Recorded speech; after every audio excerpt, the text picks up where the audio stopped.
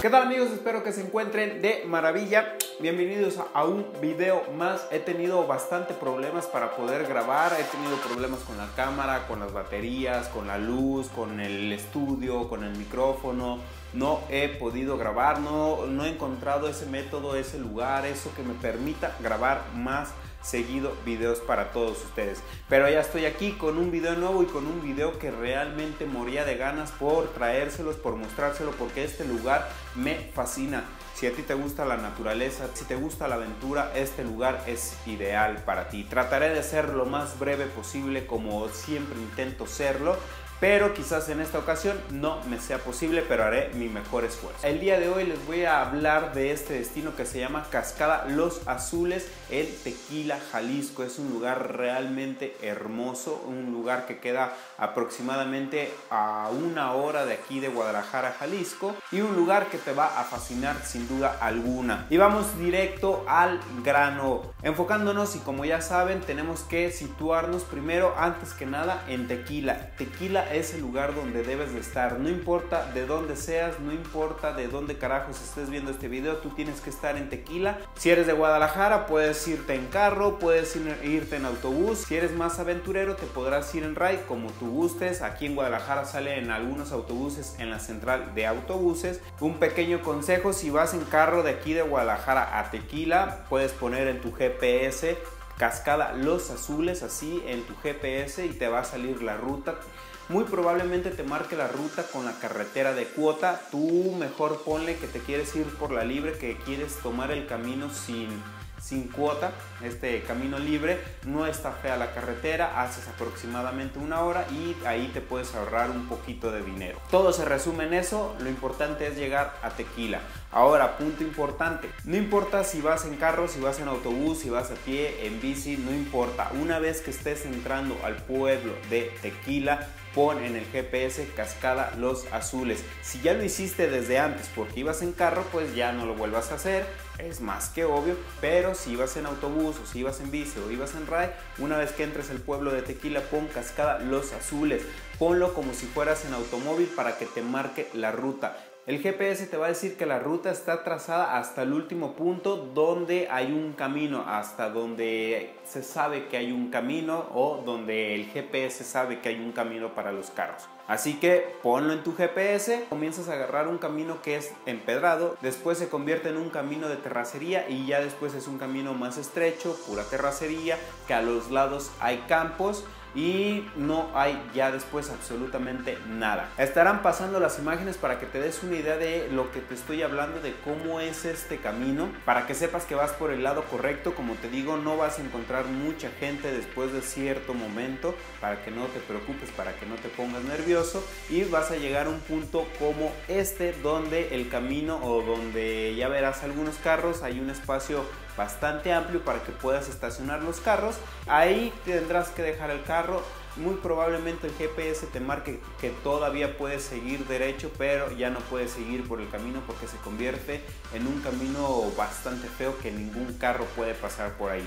Así que cuando veas esto, ahí tienes que dejar tu automóvil y tienes que comenzar a caminar. De este punto hasta las cascadas son aproximadamente 20 minutos caminando. Es un camino de terracería, es un camino de tierra, eh, de bajada principalmente. Encontrarás una que otra subida de ida, pero después se convierte todo de bajada. Aquí trataré de ser la mejor versión de mí para explicar lo siguiente para que tú puedas entender. Algo sí te puedo asegurar es que cuando estés caminando y cuando te dirijas a las cascadas es que vas a tener alguna que otra duda, pero tú en ti y recuerda lo que estoy a punto de decirte, pero sobre todo pon mucha atención a los detalles porque los vas a necesitar en algún momento. Vas a comenzar, es un camino fácil, es un camino sencillo, que sí está marcado, es simplemente seguir ese camino, pero después te vas a encontrar con caminos que cruzan y que van a hacer que te confundas un poco. Cuando veas esta parte es quizás cuando entre la primera confusión.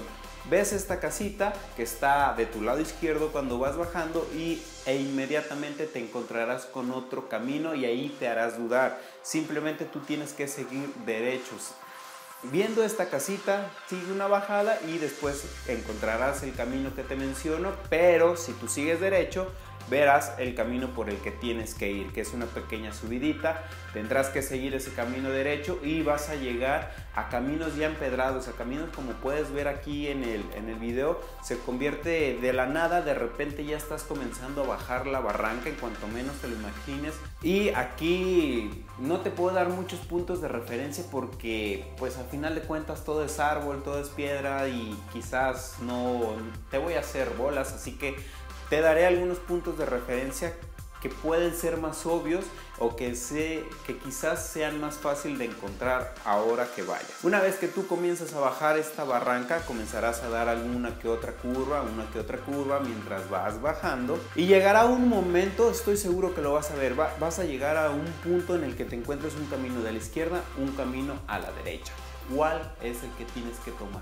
Cuando yo iba me encontré un señor con sus dos hijos, dos hijos, que muy amablemente me explicó que el camino de la derecha te llevaba a una cascada que era más profunda, que era una cascada de 4 metros de profundidad más o menos, y la cascada de la izquierda era una cascada que casi siempre, o que la gran mayoría de la gente es a la que va y se mete a nadar. Nosotros decidimos tomar el camino de la izquierda. Una vez que tomes tu camino de la izquierda, sigue ese camino, te encontrarás quizás uno que otro caminito chiquito, no tan marcado, Tú sigue el camino grande, sigue el camino grande y vas a llegar a un punto en el que cuando tú vengas por este camino te vas a topar con lo siguiente. Te encontrarás la bajada que va en picada. Si tú aquí te detienes te, te encontrarás con los siguientes detalles. Tú estás aquí situado, está una bajada y tú estás situado por el camino por el que venías.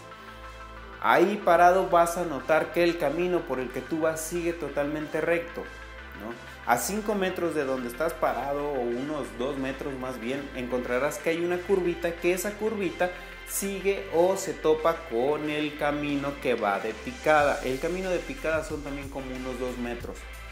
Tú tienes que seguir ese camino para llegar a la cascada buena, porque si tú te sigues derecho, llegas simplemente a unas alberquitas muy pequeñas, un riachuelo así todo chiquitito, que estoy seguro que no es lo que estás buscando. Entonces baja, baja por ahí y seguirás el camino. Notarás que el camino ya se vuelve un poco más complicado, picada, es tierra. También conforme vayas avanzando vas a ver unas mangueras que cruzan por entre los árboles, vas a comenzar a escuchar un poquito más el agua caer, vas a escuchar más la cascada y después de unos 5 minutos aproximadamente vas a ver esta belleza.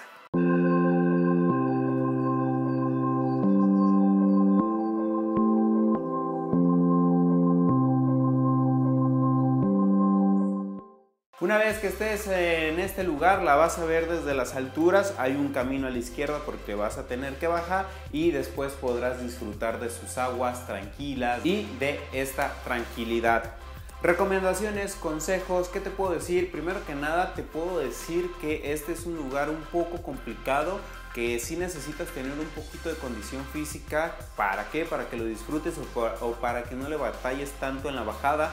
Porque si la bajada se te va a hacer difícil, déjame decirte que la subida es un poco más complicada. Es totalmente terracería, es una barranca, es un cerro, no sé qué carajos es, pero vas subiendo por la naturaleza, entre tierra suelta, entre piedras y sí se vuelve un poco complicado. Llévate ropa cómoda, llévate tenis cómodos, ropa, tenis, todo, algo que no te importe ensuciar porque todo es tierra, todo es tierra y te vas a tener que ensuciar sí porque sí.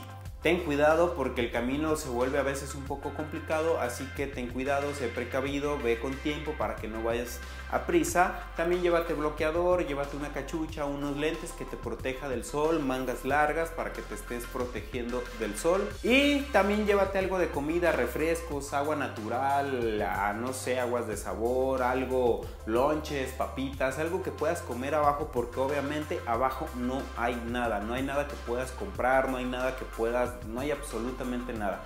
Así que te recomiendo que lleves algo de comer, algo de botanear, unos refrescos. No te digo que te lleves una super hielera, ni un asador, ni unos refrescotes de 2 metros, porque la bajada es un poco difícil y sobre todo vas a necesitar tus dos manos para estarte agarrando, para bajar con cuidado, así que mejor llévate algo que quepa en una mochila que puedas bajar de manera tranquila.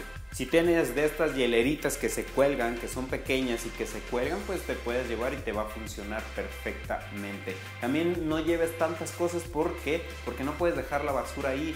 Hay un bote de basura, pero dudo que alguien vaya y recoja esa basura. Así que mejor lleva pocas cosas, lleva algo que puedas comerte ahí, pero que la basura la puedes echar en tu mochila de regreso para que después la tires en un bote que sí se puedan llevar. Es un lugar encantador, es un lugar que si a ti te gusta la naturaleza y te gusta la aventura, este es un lugar que te va a encantar. Estoy seguro que en algún momento quizás dudes de si estás siguiendo el camino correcto o el indicado, pero vas a tener que confiar en tu intuición. También este, no creo yo, no lo recomendaría tanto para personas que no realmente no tengan una condición física más o menos o que tengan algún tipo de lesión Tampoco lo recomendaría para aquellas personas que no les guste la tierra, que no les guste aventurarse, porque ahí no hay una banquita donde te puedas sentar, te vas a tener que sentar en la tierra, te vas a tener que sentar en las piedras, te vas a resbalar, te vas a caer, te vas a ensuciar. Así que si no te gusta este tipo de aventura, este viaje no es para ti. Durante el camino vas a estar un poco solo, pero puede que te encuentres unas dos o tres personas que van subiendo, que quizás van bajando, que te puedan ayudar un poco para decirte si vas bien, si vas mal, pero tú confía en ti. Y bueno amigos, hasta aquí el video de hoy. Quería hacer este video porque no hay mucha información en internet.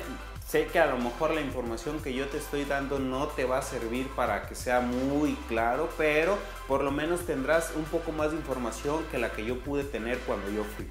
Yo me metí a internet a buscar un poquito, no encontré mucha información, encontré que había unos tours que te llevaban, pero te cobraban un poco caro, 400, 500 pesos. Muchos de ellos te incluían actividades como rapel, como escalada, como otro tipo de cosas, y yo no iba con esa intención, ni tenía el dinero o no quería gastar esa cantidad de dinero.